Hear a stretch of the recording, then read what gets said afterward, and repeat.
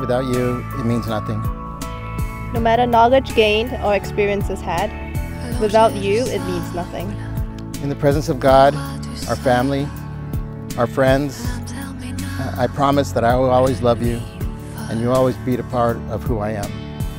In the presence of God, our family, and friends, I promise that I will always love you and you will always be a part of who I am.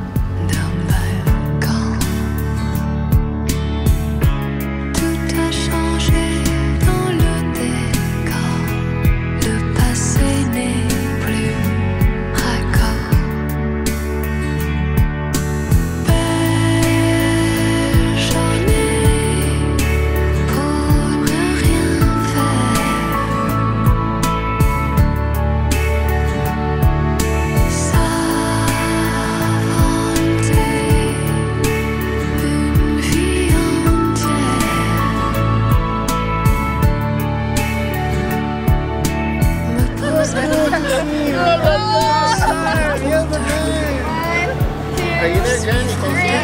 Yeah!